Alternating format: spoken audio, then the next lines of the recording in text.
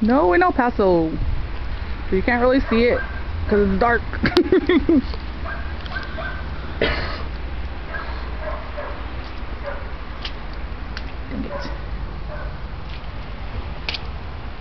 Trying to record it, but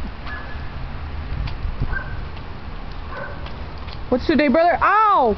Snowball. November 30th, 2009. All this snow. It's about uh, 6 p.m. maybe. 6 p.m.? I think it's a little later.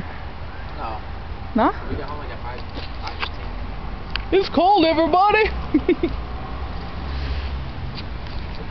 There's our car where you can't see it, it's dark.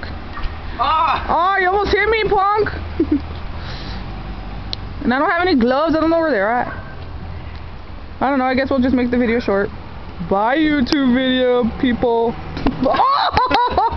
he sucked me in the stomach.